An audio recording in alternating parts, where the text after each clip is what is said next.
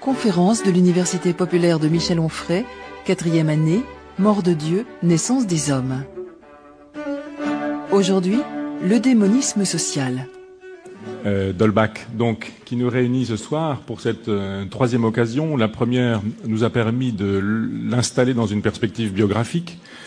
Euh, la deuxième nous a permis de voir ce qu'était la déchristianisation, déchristianisation du personnage, le travail sur les textes euh, bibliques, évangéliques, l'exégèse, la nécessité de partir d'une critique des textes sacrés pour proposer une éthique et une politique qui soit utilitariste et hédoniste, et nous allons ce soir examiner les conditions de possibilité de ce que j'ai appelé un eudémonisme social.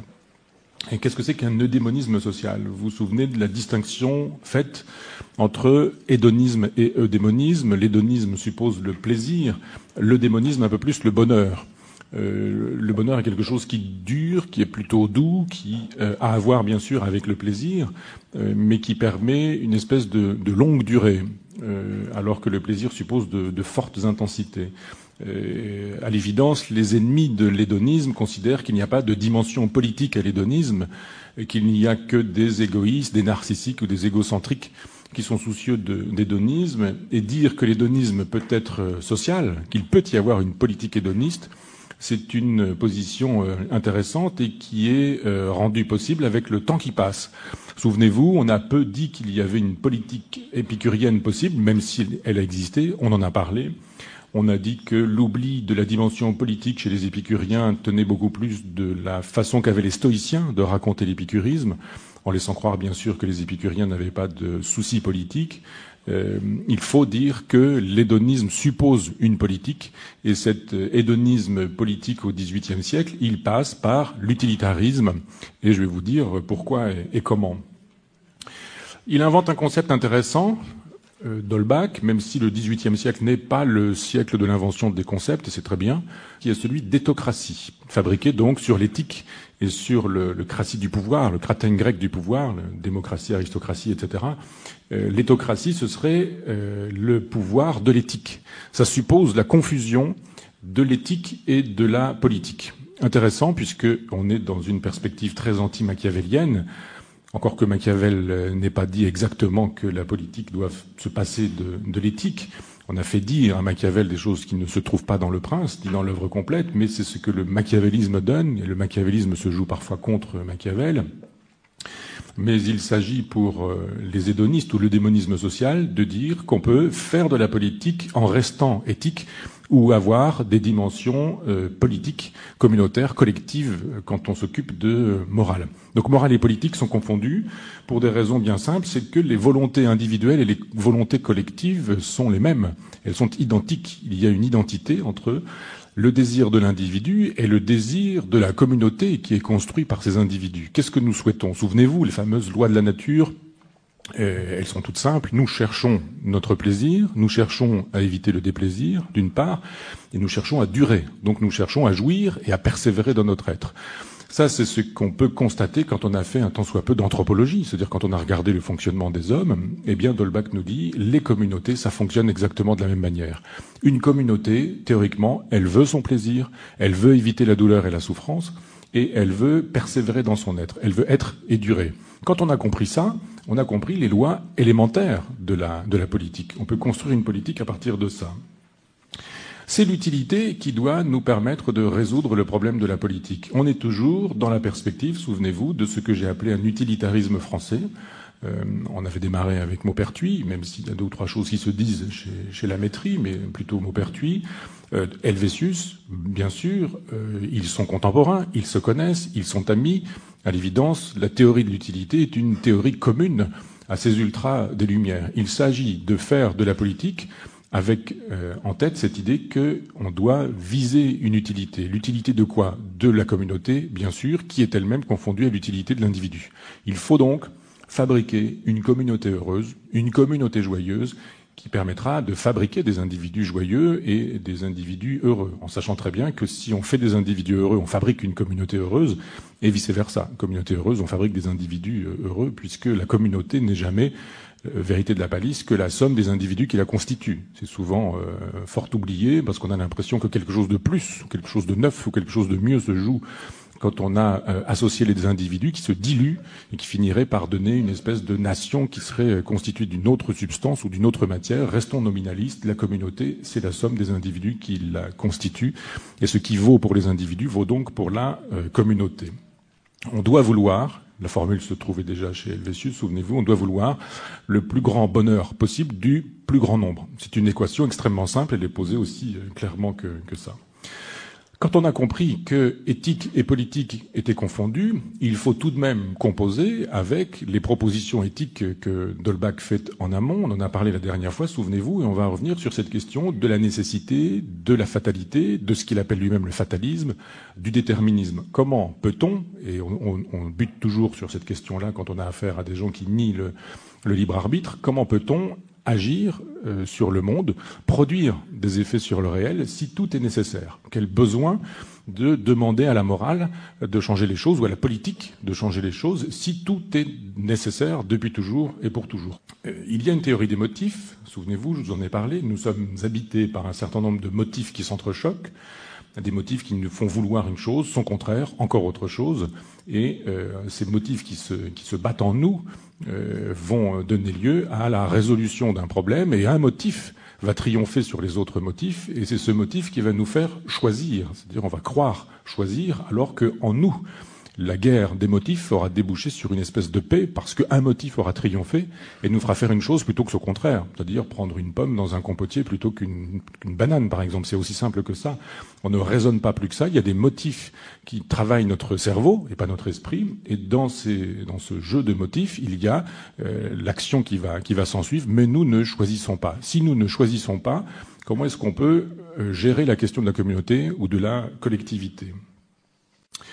Euh, il prend l'exemple du criminel ou du délinquant, euh, Dolbach, ce qui est une, question extrêmement intéressante, puisque encore aujourd'hui la question se trouve posée. Est-ce qu'on a choisi un jour d'être pédophile, par exemple, pour prendre une délinquance euh, surexposée médiatiquement? Est-ce qu'on a choisi d'être criminel? Et dans cette nécessité dont j'ai déjà eu l'occasion de vous parler, il y a, la dernière fois, il y a des petites causes. Souvenez-vous, c'était l'expression de, de Dolbach, des petites causes des circonstances fugitives et des ressorts chétifs. Euh, qu'est-ce qu'on peut mettre sous ces concepts-là? Que sont ces fameux ressorts chétifs ou que sont ces circonstances fugitives? Mais évidemment, on n'appelle pas ça encore la génétique, mais on dira la génétique. Le fait que nous procédions d'une substance, d'une semence euh, qui euh, qu'on n'a pas choisie. Nous avons des parents aussi. Il y a un déterminisme génétique, mais il y a donc un déterminisme parental. Les parents, ça n'est pas que la transmission de substances qui permettent de faire des enfants, c'est aussi la transmission ou l'absence de transmission d'affection, de tendresse, d'amour, de douceur, de proximité, de savoir, de, comportements divers. Et les parents sont pour beaucoup dans la construction d'une identité, bien sûr. L'époque également. Euh, on ne naît pas impunément dans une France féodale ou dans une, euh, ou dans une France euh, post-chrétienne ou post-moderne. On ne naît pas par hasard aujourd'hui dans un, ou innocemment, je dirais plutôt, dans un endroit qu'on dit du tiers-monde ou dans un endroit industriel. donc il y a des déterminismes historiques, il y a des déterminismes géographiques, il y a des déterminismes génétiques. Il y a des déterminismes de rencontres diverses, bien sûr, c'est-à-dire que nous avons été éduqués, et pas seulement par des instituteurs, pas seulement par des professeurs, il y a des gens qui ont compté dans notre existence et qui nous ont fait être ce que nous sommes, qui ont pu défaillir, qui ont pu manquer, qui ont pu ne pas faire euh, leur travail. Des rencontres sont diverses, elles sont, euh, elles sont chances négatives ou chances euh, positives, et on constitue des individus à partir de toutes ces petites causes qui deviennent finalement déterminantes pour notre être et pour notre identité. Et la physiologie compte bien sûr aussi, euh, il faudrait montrer comment des déterminismes physiologiques ou biologiques peuvent produire un certain nombre d'effets. La petitesse d'un ministre de l'Intérieur, par exemple, je sais pas, enfin, ou la grandeur d'un général de Gaulle. Euh, mais bon, euh, s'il y a ces déterminismes-là, est-ce qu'on est responsable de ce qu'on est devenu? Est-ce que nous pouvons dire je suis euh, indépendant de tout ce qui m'a constitué et cette espèce d'identité est susceptible d'être punie ou récompensée? Est-ce que je peux dire je? Est-ce qu'on peut dire je? Est-ce qu'on peut dire moi? Est-ce que ça a encore un sens d'utiliser le jeu occidental, le jeu cartésien, on dira, le jeu du je pense? Est-ce qu'on peut dire je pense? Ou est-ce que quelque chose d'autre pense en nous et nous fait être ce que nous sommes? Est-ce que le jeu est une fiction? Est-ce que le moi est une illusion? Voilà ce sur quoi il faut penser ou réfléchir quand on est dans des perspectives matérialistes et qu'on cherche, puisqu'il s'agit toujours du criminel, souvenez-vous, on cherche la question de la responsabilité. Est-ce qu'il y a une responsabilité euh, au criminel ou est-ce que, circonstances atténuantes, comme on le dit souvent, euh, ce sont les circonstances qui sont coupables ou responsables? Donc on devrait euh, considérer qu'après tout, euh, on ne peut pas punir, on ne peut pas récompenser, et pourtant, Dolbach considère qu'on doit pouvoir punir et qu'on doit pouvoir récompenser. Alors comment est-ce que ça peut fonctionner? Cette, cette idée qui, d'un côté, nous dit vous n'êtes pas responsable de ce que vous êtes devenu, mais vous pouvez être coupable. C'est-à-dire on peut être non responsable, mais coupable. Alors, on est très étonné en lisant le, l'étocratie et les autres livres de Dolbach qui font tellement l'éloge de, enfin qui font tellement l'éloge, qui démontrent si bien, on dira, qui démontrent si bien les déterminismes sociologiques, historiques, on pourrait même dire histologiques. Euh, tous ces déterminismes-là sont montrés, démontrés, mis à plat. Et pourtant, et en même temps, Dolbach nous dit, ce criminel, s'il a tué, on doit pouvoir le punir. Et on doit pouvoir le punir assez sévèrement, puisque euh, Dolbach défend la peine de mort, il défend même les supplices euh, spectaculaires. C'est singulier de trouver ça sous sa plume. C'est dans, dans, une euh, note de bas de page. J'ai lu et relu en me disant mais il manque quelque chose, j'ai pas très bien compris. Il considère, euh, par exemple, Dolbach, que le régicide, le parricide ou, l'empoisonnement, ça fait partie euh, des choses qui peuvent justifier qu'on puisse écraser sous une pierre, qu'on puisse découper, dépecer, exhiber toutes ces choses-là, tout, tout ce qui reste quand on a dépecé. Donc, étonnant étonnant discours chez euh, Dolbach qui en même temps défend les travaux forcés, en ajoutant que peut-être dans les travaux forcés pénibles euh, qui mettent en danger euh, l'intégrité physique, on peut aussi y ajouter des vagabonds, des mendiants. C'est pas très gauche comme politique, je dirais, chez, chez Dolbach. Comment peut-on justifier ça? Eh bien, euh, par l'utilité, par la logique de l'utilité, puisqu'on est toujours dans, la perspective de l'utilitarisme social. Euh, la nature, au sens large du terme, nous fait être ce que nous sommes. Eh bien, nous sommes utiles socialement ou inutiles socialement. Utiles à la société ou inutiles. On met en péril la société ou on la rend possible. Souvenez-vous, l'important, c'est l'être de la communauté, et c'est le fait que la communauté puisse persévérer dans son être. Voilà la logique qui anime euh, Dolbach, qui considère, dans cette perspective utilitariste, qu'on doit pouvoir récompenser et punir des individus, et qu'on doit récompenser l'utilité sociale et punir l'inutilité sociale. Alors, c'est assez euh, étonnant parce qu'on n'attend pas ce type, de, ce type de position chez un, chez un Dolbach ou chez un matérialiste qui d'ailleurs, un petit peu plus tard, vous allez voir, on y viendra, fait l'éloge de la tolérance en disant qu'on ne peut pas ne pas être tolérant quand on est sous le règne de la fatalité ou du fatalisme, quand on sait qu'il n'y a que des causalités qui s'enclenchent pour produire ce que nous sommes, eh bien, on doit pouvoir tolérer que l'un soit ceci, l'autre son contraire, ou un troisième, autre chose encore. Euh, c'est tout de même l'argument que, que Dolbach nous donne, et il développe assez régulièrement ces euh, propositions-là. Et parfois, là où il devrait développer un petit peu plus, on a une idée importante, on a juste une phrase, juste une idée qu'on trouve sur une seule ligne qui est parfois noyée dans 200, 300, 400, 500 ou 600 pages. Donc j'ai été très heureux de découvrir une phrase qui, à mon avis, permet de comprendre la totalité de la pensée juridique de Dolbach, la totalité de sa pensée sur l'articulation d'une éthique, d'une métaphysique et d'une politique, d'une possibilité d'une politique de répression. Et Dolbach nous dit que la société peut punir si elle a tout fait pour prévenir, si elle a tout fait pour empêcher la délinquance, ou elle a tout fait pour empêcher que le criminel soit un criminel. Donc on dirait dans les arguments d'aujourd'hui, dans le vocabulaire d'aujourd'hui, qu'on a le droit à la répression si on a fait tout ce qu'il fallait en termes de prévention. Comment est-ce qu'on peut faire? Eh bien, il faut agir sur la question des motifs. Je vous en ai parlé euh, tout à l'heure. Euh, nous sommes, nous sommes euh, remplis d'un certain nombre de motifs contradictoires qui nous invitent, par exemple, à tuer, à ne pas tuer, à agresser, à ne pas agresser, à être gentil ou à être méchant, à être pervers ou à être, au contraire, plutôt doux et gentil ou agréable, plutôt vicieux que vertueux. Tous ces motifs-là euh, nous travaillent, et de temps en temps, l'un des motifs triomphe et va faire triompher le vice chez le vicieux, la vertu chez le vertueux.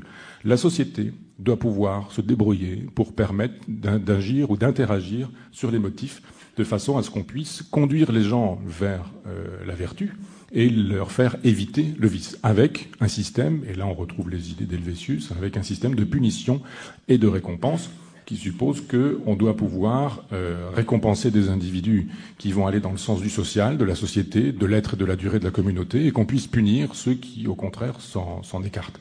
Ce qui suppose évidemment une vaste pensée de la prévention qui passera, on le verra tout à l'heure, par euh, l'éducation. Elle doit supposer qu'on puisse imprégner les consciences avec de vrais principes. Imprégner les consciences avec de vrais principes, ça veut dire quoi? Ça veut dire, souvenez-vous, on a parlé du cerveau la dernière fois, eh bien, s'adresser, et j'utilise le vocabulaire d'aujourd'hui, mais je dirais s'adresser à cette masse neuronale pour la formater, puisque dans le cerveau, il n'y a rien d'autre que ce qu'on y met, il n'y a pas d'idée innée, il n'y a rien qui préexiste à l'être du cerveau, donc il s'agit d'apporter des bons principes, des vrais principes. Il faut éduquer le citoyen avec de bonnes règles. Là encore, l'éducateur est censé nous dire ce que sont les bonnes règles. Et les bonnes règles, on les connaît. Hein. c'est ce qui est utile, je me répète, mais ce qui est utile à la société, à l'être et à la durée de la société. C'est ce qui est utile au bonheur du plus grand nombre, du plus, du plus grand nombre possible, parce que Dolbach considère que euh, le bonheur du plus grand nombre est plus important que le bonheur du petit nombre, et qu'il faut toujours viser le plus grand nombre, qu'un bonheur est supérieur quand il satisfait plus de personnes que, d'autres. Euh, ça, c'est une, une logique exponentielle aussi avec laquelle il faut, il faut compter. Donc, l'éducation nationale, elle imprègne les consciences avec des vrais principes, elle éduque le citoyen avec de bonnes règles, et elle éclaire l'intelligence avec des lois justes. Euh, on sait que les lois sont fabriquées par les individus, que les individus fabriquent des lois, qu'il y a donc un travail d'aller-retour entre ces deux, ces deux instances, mais il y a un règne de la loi, un règne du droit chez ces individus que sont Dolbach et les, et les ultras des Lumières, enfin du moins ceux, ceux, dont on a parlé précédemment, ce ne sera pas le cas de Sade, mais il y a une, une façon de croire que euh, on ne doit pas aller chercher de l'autre côté du droit positif et civique et, et, civil, pardon, on ne doit pas rechercher une espèce de droit naturel qui renverrait à, à, la proposition chrétienne, parce que très souvent le droit naturel, quand on en parle à cette époque-là, c'est le droit du christianisme, c'est le, le, droit tel qu'on l'extrait du décalogue ou des textes religieux. Le droit naturel dont parle Dolbach et quelques autres, ce sont euh, ces propositions qui, euh, qui, qui, surviennent quand on a compris qu'on a étudié la nature qu'il y avait ce, tropisme vers le plaisir, ce refus du déplaisir, etc. etc. Ça, ce sont les, les propositions du, droit naturel.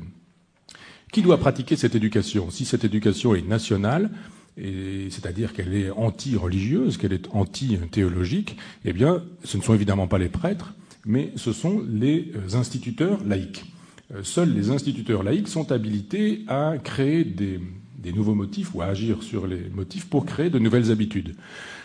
Donc, possibilité d'agir sur les motifs, possibilité d'ajouter des motifs utilitaristes euh, pour euh, agir contre les motifs qui, eux, seraient euh, dirigés contre la société, par l'éducation, mais aussi par la politique. Ce qui est déjà de la politique, bien sûr, l'éducation est politique, elle est toujours politique, puisqu'on vise à fabriquer des sujets, des citoyens, des individus, et qu'on n'a pas de, proposition neutre dans cette affaire. Dolbach est dans une perspective, je vous le disais tout à l'heure, de monarchie éclairée et constitutionnelle.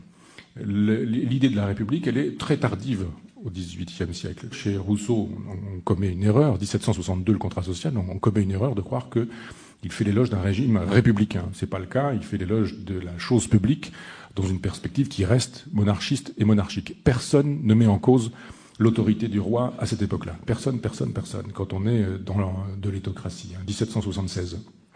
Donc, euh, lui, il croit à la monarchie éclairée, comme beaucoup.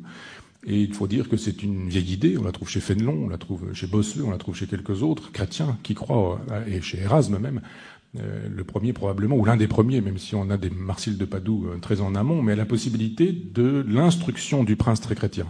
Euh, si vraiment le prince est chrétien, nous dit Erasme, s'il est formé sur le principe des vertus évangéliques, alors on n'aura plus de guerre, on aura la paix, on aura la prospérité, on aura le bonheur ou ce genre de choses. Donc cette idée chrétienne, a priori, enfin chrétienne, ce sont des chrétiens alternatifs, on dirait aujourd'hui, ce sont des chrétiens hétérodoxes, l'idée qu'on puisse éduquer le prince, même si c'est une vieille idée platonicienne, on la trouve dans la République de Platon, l'idée qu'on pourrait éduquer le, roi pour en faire un, roi philosophe, ou faire du philosophe un roi, ça c'est autre chose, je vous le déconseille, mais euh, l'inverse c'est tout aussi improbable. L'idée qu'on puisse faire d'un roi un philosophe, quand le, roi devient un tant soit peu philosophe, euh, la meilleure chose qu'il a à faire c'est de cesser d'être roi. Enfin, ça paraît assez euh, incompatible comme, comme, fonction, roi et philosophe. Mais bon, on croit que le monarque, dont on ne peut pas se défaire à l'époque, eh bien, il faut peut-être l'éduquer, lui donner des cours. Et euh, souvenez-vous également, Lamotte Levaillé faisait ça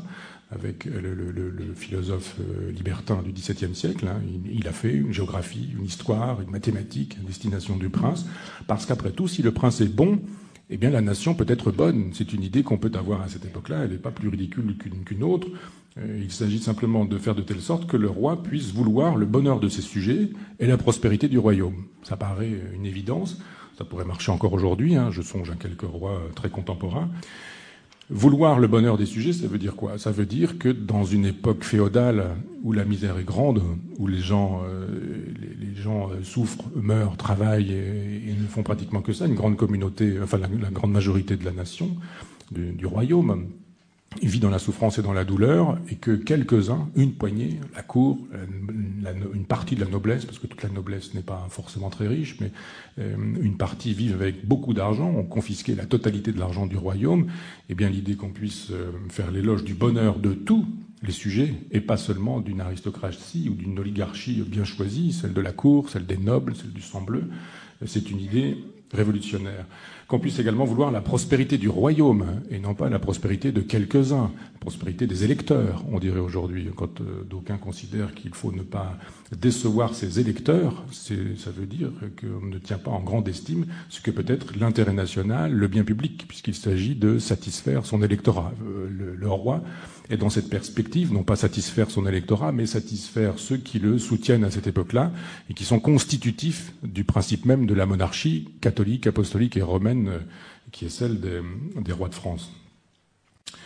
Qu'est-ce que le souverain bien en politique? Que doit vouloir euh, désirer, que doit désirer le roi pour être un, bon roi? Et dans l'étocratie, euh, Dolbach nous dit, ne doit pas chercher la puissance, la conquête, l'empire ou la domination, il ne doit pas vouloir non plus la colonisation, la soumission des sujets ou l'asservissement des citoyens. C'est pas ça qui est, intéressant. Il doit vouloir, au contraire, la paix, la prospérité, le bonheur d'être ensemble, la liberté, l'égalité, la propriété, la sûreté. C'est vite fait, mais c'est bien fait. Tout est dit ici très précisément. Vous avez dans ce, portrait euh, négatif, dans ce qu'il ne faut pas que le roi veuille, le portrait de ce qu'est le roi à l'époque, de ce qu'a été Louis XIV, euh, de ce qu'est Louis XVI qui a euh, conquis, euh, mené des conquêtes, détruit les finances du royaume simplement parce qu'il a fait, a fait des guerres, euh, il y a eu à cette époque-là également du pillage euh, du Nouveau Monde, des peuples, euh, des peuples qui ont joué un rôle important dans la philosophie. On l'a vu avec, avec la pensée libertine, hein, les, sauvages, les fameux sauvages de Montaigne, qui deviendront les sauvages et les barbares, mais qui en même temps donneront des leçons de sagesse et de philosophie à ces philosophes qui occupent notre contre-histoire de la philosophie. Donc c'est un portrait du, mauvais roi qui nous est fait euh, quand, il est question d'empire, de conquête, de domination, de colonisation ou de pauvreté euh, des sujets. On est dans une perspective assez épicurienne. Euh, on a parlé de la politique épicurienne des Philodèmes de Gadara, par exemple, ou des Diogènes de Nanda, euh, qui nous disait un bon roi, puisqu'on n'est pas dans un régime républicain, mais qu'est-ce que ça veut dire la République euh, quand on est dans, la logique romaine hein? Euh, On est dans une logique de souci du bonheur et de la tranquillité du plus grand nombre. Une ataraxie politique, ce que j'avais présenté comme une ataraxie politique, l'absence de troubles en politique. Le bon prince, le bon roi épicurien, il doit vouloir la paix, la prospérité, la tranquillité de ses sujets. Et la guerre n'est jamais l'occasion de la tranquillité ou de l'ataraxie. La misère non plus. Euh, l'autorité non plus. Donc voyez comment on peut fabriquer une politique euh, hédoniste, comment on peut fabriquer une politique épicurienne ou en regard des principes euh, proposés par Épicure. Il y a dans, l'ouvrage de l'éthocratie qu'il fait parvenir à Louis XVI, donc c'est pas inintéressant de savoir que le philosophe écrit à destination du, à du roi en chef, hein, qui, lui est en acte. Il dit voilà, il y a euh, une équation extrêmement simple qui doit permettre de donner à la loi une puissance qu'elle n'a pas. Si la parole du roi euh, s'identifie à la loi et devient le droit, alors c'est pas le droit, c'est pas la loi. C'est très exactement ce qu'on retrouvera avec, euh, avec Hitler ou avec les totalitarismes du XXe siècle. Euh, la loi n'est pas fabriquée par une souveraineté, une représentation publique euh, ou un système de, de délégation. La loi, c'est la parole du dictateur ou c'est la parole du tyran. Quand, quand, Louis XIV dit l'État, c'est moi, il dit très précisément la loi, le droit, c'est ma parole. C'est moi très exactement qui parle qui suis susceptible de faire le droit et la loi, qui doit dire ce qu'on doit faire et ne pas faire. Il faut, nous dit Dolbach, des bonnes lois parce que les bonnes lois font les bons individus. Et en retour, les bons individus font également les bonnes lois. Et les, bonnes lois et les bons individus font la bonne société. Voilà comment on est capable de fabriquer une communauté. Donc, faire confiance à la loi. Et je vous dirai un petit peu plus tard comment la loi elle-même doit euh, procéder d'une souveraineté, puisque Dolbach réfléchit à cette question d'une souveraineté possible, comment constituer une souveraineté immanente qui ne soit pas une souveraineté transcendante. Il y a un roi, il n'est pas question de se défaire du roi ou de penser sans le roi, mais au-dessus du roi, il y a quelque chose. C'est-à-dire que le caprice du roi ne peut pas faire la loi. Le roi doit obéir à la loi naturelle, parce qu'il incarne le droit naturel. Donc il y a effectivement les sujets et les citoyens, et puis le roi, qui est au-dessus de, des sujets et des citoyens. Mais dans la logique classique et traditionnelle, au-dessus du roi, il n'y a rien, si ce n'est Dieu. Et eh bien là, nous dit Dolbach, au-dessus du roi, il y a le droit naturel et la loi naturelle. Ce qui permet, je vous le rappelle, hein, le droit naturel et loi naturelle dans cette affaire, ce qui permet l'être de la communauté et la durée de la communauté, ce qui permet le plaisir de la communauté ou de la collectivité, ce qui permet d'éviter le déplaisir de la communauté et de la collectivité, ce qui permet à cette ataraxie constituée euh, sur le terrain politique d'être et de durer. Voilà ce que doit vouloir le roi. Il ne doit pas parler euh, à partir de lui-même en considérant qu'il a des droits, il y a des devoirs à être roi. Euh, cet individu-là, qui est le roi, s'il s'inspire du, droit naturel, et seulement s'il s'inspire du droit naturel, et pas de son propre caprice, il doit pouvoir choisir hors noblesse, nous dit Dolbach, et ça c'est extrêmement important, hors noblesse, il doit pouvoir choisir des individus qui seront euh, des individus respectables, parce qu'ils seront des représentants du peuple qui sont dignes, moraux, vertueux, éclairés et animés par le bien public. Alors certes, c'est le roi qui choisit toujours. On peut imaginer que s'il choisit selon son caprice, il va promouvoir sa propre cour. Mais si on n'oublie pas le fait que c'est le droit naturel qui doit parler en lui, eh bien, on verra que quand il choisit un individu dans le peuple, euh, il va euh, faire de telle sorte qu'il va pouvoir constituer une communauté particulière qu'il appelle, Tolbach, un conseil des représentants de la nation. Conseil des représentants de la nation. C'est très exactement le principe d'une assemblée nationale, moins, la logique de l'élection d'aujourd'hui, c'est-à-dire la souveraineté, euh, la souveraineté populaire qui passe par le suffrage universel. Ça, c'est une des formules contemporaines, vous le savez, c'est la nôtre dans cette cinquième République.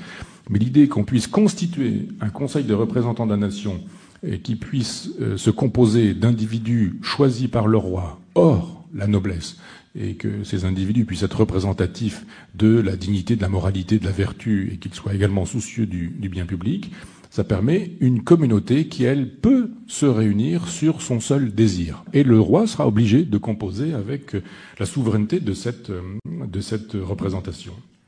Quelles sont les prérogatives de cette Assemblée nationale, pour utiliser l'expression qui n'est pas la sienne, mais euh, dont vous comprenez le, le sens, et quelles sont ses prérogatives? Eh bien, ce, Conseil, il fait, il discute, il corrige, il abroge les lois. Donc, le pouvoir législatif est entre les mains de, ce, Conseil. Ce n'est pas le, le, roi qui fait la loi, c'est le Conseil nommé par le roi qui est inspiré par la loi naturelle, qui est susceptible de fabriquer la loi. Donc, vous voyez comment la loi positive procède de la loi naturelle et comment la loi naturelle elle-même procède d'arguments éminemment matérialistes et éminemment immanents. Donc on fait cette loi, on la discute, on la corrige, on l'abroge, enfin on a le pouvoir législatif. Ce Conseil décide des guerres à mener. Et on le sait, et on l'a vu avec Louis XIV, les guerres sont menées par caprice royal, simplement parce qu'on a des désirs d'associer des royaumes, de dissocier des royaumes, parce qu'on a des envies de mariage ou des envies de, euh, des envies stratégiques qui sont peu soucieuses, ces envies stratégiques, du bonheur des peuples. Et ces guerres coûtent très cher et affament les populations. Euh, Dolbach nous dit, c'est le Conseil des représentants de la nation qui décidera des guerres à mener et il ne sera d'accord, il ne légitimera que les guerres qui sont nécessaires au maintien de l'intégrité de la nation. On pourrait dire aujourd'hui des guerres défensives, si vous voulez. On ne va pas attaquer des euh, individus, on va attaquer tel peuple parce qu'on a décidé qu'il était dangereux ou parce que pas comme ça qu'on fonctionne. On fait des guerres parce que quelqu'un d'autre a décidé qu'il allait nous la faire et qu'il faut empêcher euh, à un peuple de nous déclarer la guerre parce qu'on risque, on risque gros, euh, notamment la destruction de notre intégrité. Donc cette assemblée fait les lois, décide de la guerre, elle fixe l'impôt également, alors que euh, précédemment, enfin précédemment, de fait, comme ça se passe avec euh, Louis XVI et avec Louis XIV également, euh, l'impôt est, est, simplement un, un caprice. C'est le caprice. Le roi lève des impôts, il a besoin d'argent, il lève des impôts, point à la ligne. Et il a besoin d'argent parfois parce qu'il fait, il se fait construire Versailles, parce qu'il se fait construire des, des, des choses extravagantes et, qui sont uniquement là pour son propre caprice, pour le caprice personnel et pas du tout pour l'intérêt de, la nation. Donc les dépenses publiques, elles sont utiles, elles sont nécessaires, elles sont indéfendables, mais simplement si elles visent l'être et la durée de la nation et pas du tout le contentement du roi et de sa petite euh, caste. Et puis euh, cette assemblée, elle a le pouvoir également de révoquer les individus qui la constituent, dans la mesure où ils auraient pu trahir ou ne pas représenter correctement les gens qui les ont, pas tant, le roi, mais les intérêts de la nation, disons. Euh, c'est une idée extrêmement intéressante parce que encore aujourd'hui, l'idée d'un pouvoir contrôleur n'est pas une idée euh, répandue.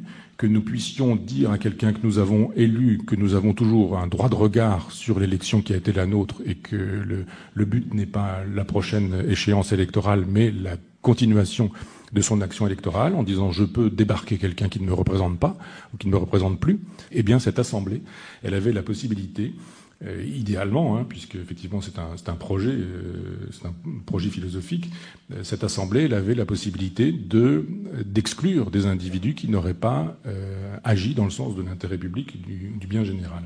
Cette loi, quand on l'a constituée, elle doit viser un certain nombre d'objectifs, notamment la liberté. On le verra, puisque avec euh, avec Dolbach, on va clore une certaine façon d'être euh, d'être philosophe. Avec euh, Sade, on va ouvrir une espèce d'immense parenthèse effrayante pendant trois séances, et on verra comment Sade est le grand penseur de la féodalité et comment la Révolution française euh, est censée abolir cette euh, féodalité. Mais euh, on est dans la perspective de une perspective libertaire. Alors quand je dis libertaire, entendons-nous bien, pas anarchiste, mais qui fait de la liberté quelque chose d'essentiel et peut-être plus importante euh, cette liberté que l'égalité, voire la fraternité. On le sait, ce sont les devises de la République française, et parfois euh, c'est beaucoup plus la liberté qu'on met en avant que l'égalité et la fraternité. Et d'aucuns ont dit, ils n'ont pas tort, que euh, la liberté, ça ne marchait pas avec l'égalité et la fraternité, et que la liberté était contradictoire avec euh, l'égalité et la fraternité. La Révolution française qui va triompher, je finirai l'année sur un cours de synthèse qui s'intitulera probablement Les deux révolutions. Il une révolution qui gagne, puis la révolution qui perd je vous dirai lesquelles, mais la révolution qui gagne, c'est la révolution bourgeoise, qui elle est une révolution des libertés, et pas du tout une, révolution, euh, une révolution euh, du, des bras nus. On utilisera l'expression de Michelet, euh, la révolution de, des sans-culottes, des enragés ou, du petit peuple. Ça, c'est la, la révolution qui perd. Donc la liberté, elle est la liberté libérale. Elle donnera la liberté libérale, hein, mais c'est la liberté d'entreprendre, c'est la liberté de cultiver, c'est la liberté de commercer. Ça, c'est évidemment, on entend la voix d'Adam Smith, de Turgot, de Necker, enfin de tous ces grands libéraux, les physiocrates. Mais c'est aussi la liberté de publier, d'écrire, la liberté d'expression, donc liberté de caricaturer, pas mal quand même, hein, de se moquer, et euh, il était question à l'époque de se moquer évidemment du roi, du pouvoir royal, mais c'est une des libertés fondamentales dans une perspective de, de, philosophie républicaine, au sens étymologique du terme, que de pouvoir se moquer, que de pouvoir critiquer. Et Dolbach souhaitait que cette liberté soit élargie, donc hein, entreprendre, publier, écrire, se moquer, travailler, cultiver, euh, commercer. Il n'est pas pour, euh, pour un, une égalité intégrale et pour un égalitarisme, c'est-à-dire on peut vouloir l'égalité sans être un égalitariste, euh, on peut viser un peu plus d'égalité sans avoir la religion d'égalité, ce que supposerait l'égalitarisme. Il est même plutôt pour une inégalité modérée. Euh, c'est une idée qu'on retrouve aussi chez, chez Helvétius, hein, parce qu'ils pensent tous les deux, peut-être n'ont pas-ils complètement tort, que quand on est dans, dans l'inégalité, il y a une possibilité d'émulation qui suppose que nous allions chercher, justement dans l'émulation, la possibilité de bien faire, de mieux faire, de se dépasser, de se surpasser, une espèce de motif, pour le coup, une motivation, qui est susceptible d'exister dans une inégalité modérée, entendons-nous bien, et qui n'existe plus quand on est dans une espèce d'égalitarisme où tout se vaut, où tout le monde vaut tout le monde, et bien faire, mal faire, c'est la même chose, faire correctement son travail ou pas le faire du tout, c'est exactement la même chose. Donc cette pensée de l'inégalité modérée est une pensée qui fonde également le radicalisme euh, réformiste dont je, dont je parlais en amont. Sur la propriété, euh, là encore, il y a une, double façon de la penser, cette propriété, dans, dans cette époque. Et je vous dirais que ce ne sont pas les livres qui font la Révolution française, mais que c'est la Révolution française qui fait les livres. Et à partir de la Révolution française, on va prélever, ce sera ma thèse finale, ce sera la thèse de la fin d'année, on prélève dans la Révolution française et dans l'histoire, à partir pardon, de la Révolution française, les idées qui ont rendu possible la Révolution française qui triomphe, puis on laisse de côté la Révolution française qui n'a pas triomphé. Il y a donc un double, un double échec de ceux qui n'ont pas réussi, c'est-à-dire que même les philosophes qui ont soutenu et défendu la seconde révolution, plus radicale, plus, euh, plus, plus communiste, plus socialiste, pour utiliser des termes modernes, cette révolution-là, évidemment, elle, disparaîtra dans, euh, dans les livres d'histoire, et euh, le, le, point de partage se fait sur la question de la propriété. Helvétius le souhaitait, Dolbach le veut également, ils souhaitent les deux déconcentrer les richesses, car les richesses sont outrancièrement concentrées entre les mains de quelques-uns à cette époque. Euh, qui détiennent la totalité de la puissance financière, de la richesse du royaume. Donc il s'agit de déconcentrer ces richesses et de les répartir sur la totalité du royaume, notamment avec des petites métairies. C'est une idée communaliste, libertaire, qui suppose qu'avec la petite propriété, ça c'est une idée de Proudhon, eh bien, on peut permettre à chacun de subvenir à ses besoins. Souvenez-vous, dans une période qui est pré-industrielle, euh, absolument agricole, absolument, absolument rurale, et l'idée qu'on puisse euh, survivre quand on a un petit champ, un petit jardin, de quoi faire un potager, d'avoir quelques légumes et subvenir à, ses besoins, c'est-à-dire manger à sa faim, qui est la grande obsession quand même du XVIIIe siècle, c'est une idée euh, intéressante. Sûreté, donc liberté, propriété, sûreté, et vous, retrouvez des idées qu'on verra réapparaître dans la Déclaration des droits de l'homme. Hein. Il s'agit de disposer de soi, euh, de ses biens et de sa personne. Euh, là encore, on sait qu'il y a des lettres de cachet, l'arbitraire est total. Euh, le, le, roi peut très bien décider avec une lettre de cachet d'enfermer quelqu'un, simplement parce qu'il a déplu à un noble ou à un ami ou à quelqu'un qui est bien, bien en cours, comme on disait à l'époque. Il s'agit donc de pouvoir disposer de soi, d'être redevable du droit euh, et de pouvoir disposer donc de, ses biens et de sa personne. Ces, propositions politiques, qui sont aussi des propositions éthiques, elles supposent quelques valeurs, et notamment la laïcité. On avait vu que la laïcité pouvait s'enraciner dans, dans de la sagesse de Pierre Charon en 1601, puisque c'est à partir de ce moment-là qu'on dissocie le, spirituel du temporel, qu'on dit le religieux peut-être, mais dans son coin, et puis la politique aussi, mais dans son coin également, et l'un ne doit pas s'inspirer de l'autre ou générer l'autre, euh, eh bien, il est dans une logique de laïcité aussi, Dolbach, mais il n'est pas pour une laïcité euh, violente, il n'est pas pour une déchristianisation violente. Il y aura une déchristianisation, on en reparlera dans l'an 2 de la République, violente, avec des, avec des voies de fait. Mais euh, Dolbach pense que cette déchristianisation, elle doit se faire par la persuasion, l'éducation et le raisonnement de manière euh, intellectuelle. Il s'agit par exemple de demander aux prêtres, une idée qu'il y avait déjà chez Méliès, souvenez-vous aussi, de demander aux prêtres de devenir des, des instituteurs de la jeunesse, ce sont ces expressions, instituteurs de la jeunesse, prédicateurs de la vertu et propagateurs de la morale. Donc on demande aux prêtres de quitter le registre spirituel et religieux, théologique, pour accéder au registre de l'immanence philosophique.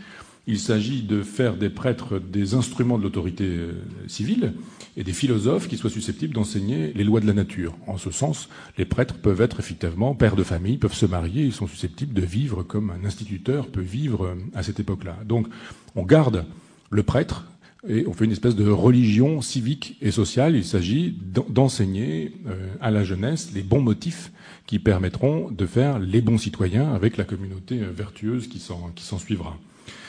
La justice est également, donc la laïcité, première vertu. Deuxième, deuxième vertu, la justice est une, est une proposition essentielle chez, chez Dolbach. Il considère, Dolbach, qu'il faut une égalité des devoirs, pas seulement des droits. Et il a des mots assez durs sur la noblesse, en disant noblesse oblige. On peut imaginer que lui aussi pense que noblesse oblige et qu'être noble, ça ne crée pas des droits, ça n'ouvre pas des droits, mais ça crée des devoirs. Ça, oblige à des devoirs. Il souhaiterait qu'on puisse taxer les nobles, qui sont dans des logiques extrêmement luxueuses, effectivement, les tapisseries, les châteaux, les œuvres d'art, les porcelaines, les bijoux, l'or, etc. Enfin, je vous disais tout à l'heure que la richesse était entre les mains de ces gens-là. Dolbach considère qu'on doit pouvoir taxer le luxe. Le taxer, pas dire l'interdire, mais le taxer. Il considère que la noblesse a l'obligation de créer des emplois et qu'elle a l'obligation également de contribuer euh, à la prospérité de la nation justement en, créant ces, emplois.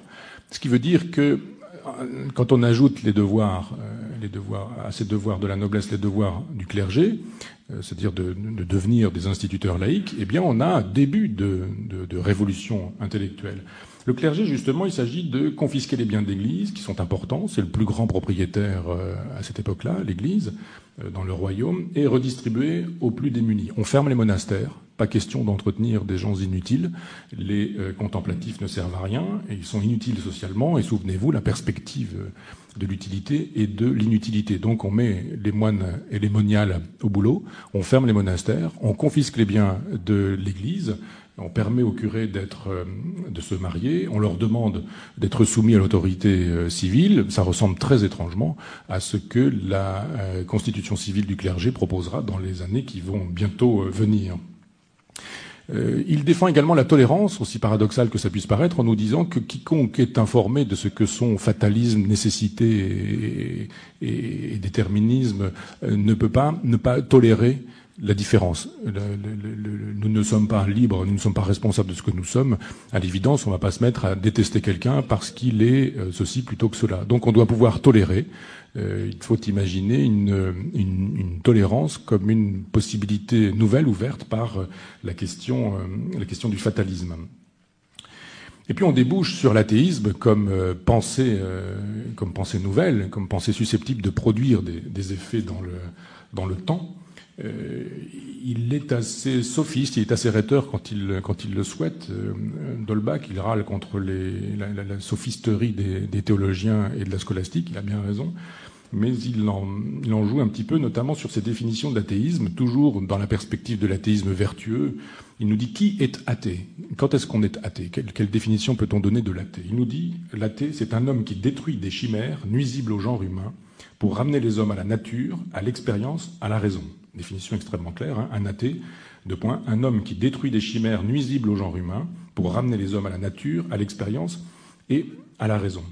Il nous dit donc que l'athéisme n'a rien à voir avec euh, la production du vice ou de la vertu. C'est pas parce qu'on est athée qu'on est vicieux, et c'est pas parce qu'on est euh, croyant qu'on est vertueux. Ça n'entretient aucune relation, nous dit Dolbach. Ça entretient une relation, vice et vertu, avec le tempérament, dont je vous ai dit tout à l'heure qu'il procédait de toutes ces petites causes, la génétique, les parents, le milieu, l'époque, enfin qui nous structurent comme tels et qui font de nous un tempérament, et c'est ce tempérament qui fait de nous des êtres vicieux ou des êtres vertueux. Mais la religion compte pour zéro dans cette affaire. D'autant que s'il y a de l'impiété, nous dit Dolbach, elle est plutôt du fait des croyants, du fait des gens qui avancent l'existence de Dieu, parce que les théologiens sont assez singuliers, nous dit-il. Ils avancent des idées de Dieu qui sont extravagantes, totalement incohérentes. Les vrais athées sont les théologiens, parce qu'ils ont des définitions telles de Dieu que quand on y réfléchit un temps soit peu, tout explose en vol et ça n'a aucun sens. Donc s'il y a un athée véritable, c'est le croyant, c'est le chrétien, c'est le théologien lui seul est impie. En revanche,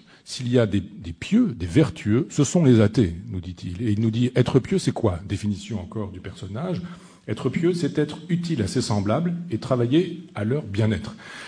On voit d'un seul coup que c'est une façon de, euh, de, restaurer, de, de oui, d'inverser les perspectives, c'est-à-dire que le, croyant devient vicieux et l'athée devient vertueux, même s'il nous dit précédemment que vice et vertu n'ont rien à voir avec la croyance. Mais ça, c'est une espèce de jonglerie de, Dolbach, qui conclut en nous disant que l'athéisme est rare, parce que pour être athée, il faut du loisir, il faut de l'argent, il faut du temps, il faut des livres, il faut de la conversation, il faut euh, la possibilité d'examiner les lois de la nature et que ça très peu le, peuvent.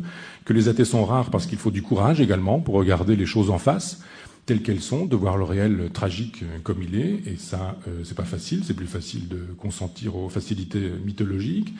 L'athée est rare aussi parce qu'il a le souci des générations futures, quelqu'un qui ne pense pas que pour lui, mais qui souhaite faire une, une humanité nouvelle, une humanité meilleure. Et seul, nous dit-il, c'est la conclusion qu'on pourra faire de ce, de ce trajet en compagnie de Dolbach, seul l'athéisme rend possible une éthique et une politique. Cette éthique étant politique et cette politique étant éthique, et s'il faut un mot, une phrase, une expression pour résumer la pensée de, la pensée de, de Dolbach, il nous dit apprenez l'art de vivre heureux. Euh, apprenez l'art de vivre heureux. On pourrait conclure là-dessus. 1789, euh, dès, les premiers jours du mois de, janvier, Dolbach meurt. On est en train de convoquer les États généraux.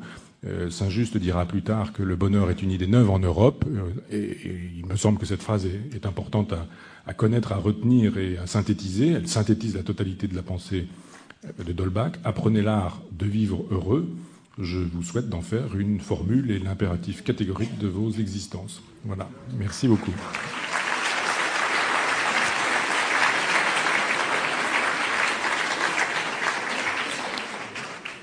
bibliographie de ce, de ce dernier cours sur, sur Dolbach. Je vous avais signalé l'œuvre complète chez Coda et à Live ou Live. Euh, c'est pas forcément facile à trouver. Vous pouvez, si vous n'avez envie euh, de lire que, le, que l'étocratie, euh, acheter l'édition Georg Holmes, qui est le, texte qui m'a servi de point de repère, je dirais, pour, euh, pour cette séance sur la politique. Euh, Ernst Cassirer a fait un, livre synthétique à sa manière, La philosophie des Lumières, chez Fayard. Donc Cassirer, lui, fait l'éloge de cette philosophie des Lumières dans la grande tradition de la pensée bourgeoise. Entendons bien, c'est pas une insulte bourgeoise en ce sens. Hein. Et puis Robert Mosey, un livre intéressant pour toutes les pistes qu'il donne. L'idée du bonheur dans la littérature et la pensée française au XVIIIe siècle, chez Slatkin. Donc c'est très intéressant, mais c'est très littéraire. C'est un mais qui est un peu dommage pour moi parce que je, je trouve que tout y est mélangé. C'est-à-dire on y a la littérature, les poèmes, on y a les, petits, textes, les petites odes, les, petits, euh, les petits poèmes bucoliques. Et puis de temps en temps quelques passages un peu rapides sur tel ou tel traité. Mais c'est un, travail remarquable de d'un littéraire et pas d'un philosophe. Donc si vous voulez faire le tour euh, de cette pensée bourgeoise, Cassirer est utile, Mosy est intéressant également, mais euh, la, possibilité de lire les textes directement d'un Dolbach, d'un Helvétius, d'un Lamétrie, même en amont, d'un Jean Mélier, bien sûr aussi, et surtout de Sade, ce qu'on va faire la prochaine fois, tout ça est très intéressant pour qu'on ait une contre-histoire de la philosophie, bien sûr, mais aussi une contre-lecture de la Révolution française, une contre une contre-proposition pour la lecture habituellement faite de la Révolution française. Voilà pour pour la biblio. C'était conférence de l'Université populaire de Michel Onfray. Prise de son, Éric Audra. Réalisation, Véronique Villa.